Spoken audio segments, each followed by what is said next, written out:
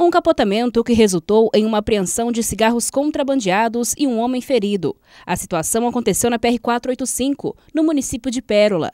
O contrabandista tentou fugir de uma abordagem de policiais militares do BPFROM, o Batalhão de Polícia de Fronteira, mas acabou perdendo o controle da direção do veículo e foi aí que o acidente aconteceu.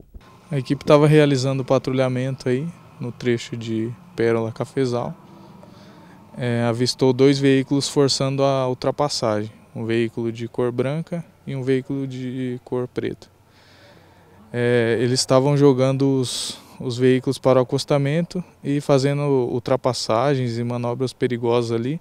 A equipe resolveu realizar a abordagem.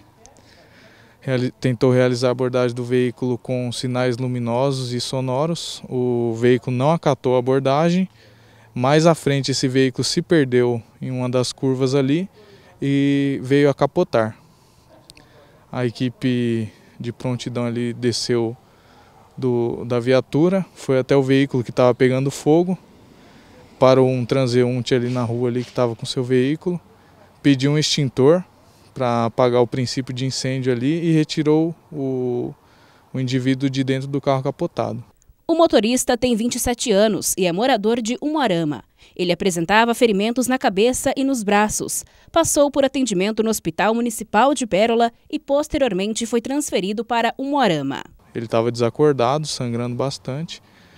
É, já foi feito o contato de imediato ali com o SAMU e com o hospital de plantão, onde o indivíduo foi atendido e levado ao hospital. O atendimento à ocorrência, assim como a sinalização do trânsito na rodovia, teve o apoio da Rotan do 25º Batalhão de Umuarama. Cerca de 40 caixas de cigarros paraguaios estavam no interior do veículo Jetta, que foi guinchado até Guaíra. O procedimento aí é encaminhar o indivíduo, né, depois de ser atendido, para a Polícia Federal e os cigarros contrabandeados para a Receita.